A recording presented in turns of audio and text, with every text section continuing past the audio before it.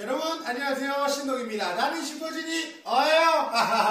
여러분 배고픈데요